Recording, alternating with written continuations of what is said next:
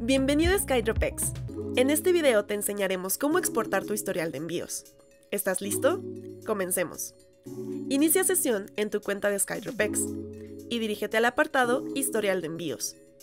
Ahí podrás encontrar el detalle de todos tus envíos desde que creaste tu cuenta. En esta pantalla ubica el botón Exportar PDF. Se descargará un archivo en formato PDF con tu historial de envíos. Este te será de gran ayuda para llevar una buena organización de tu logística.